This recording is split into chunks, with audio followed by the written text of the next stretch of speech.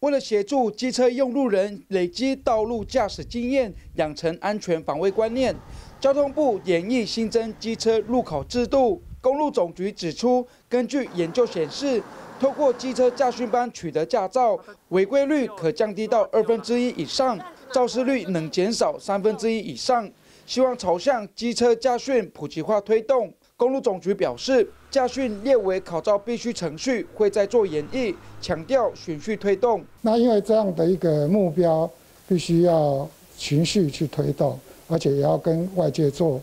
一些适度的一个沟通。所以我们希望在明年度就能够，呃，推出这个试办的一个计划，鼓励驾训班来，呃，设计这个道路驾驶体验的课程。我觉得其实。没有什么不好，因为现在像我们住在都会区，那个密人口密集度非常高，尤其是在上下班的时候，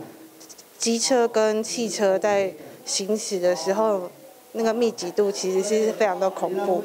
那如果再增加这个机车路考的部分的话，其实是。也可以有一个增加一个安全道路安全的一个考量跟一个实实际的一个测测，这是一个测验。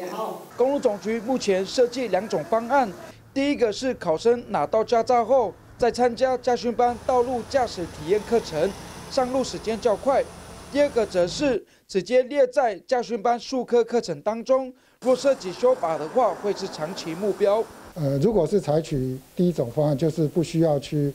呃动到相关的配套修法的一个方式，那只要择定相关的一个路线，明年上半年应该就可以来对外来做实施。张顺清表示，由于牵涉地方政府对试办路线的核定及驾训班准备作业，因此相关实施方法、路考环境规划都还在研拟，要等到向交通部报告以后，才会有初步结果。原视新闻胡顺把度台北市采访报道。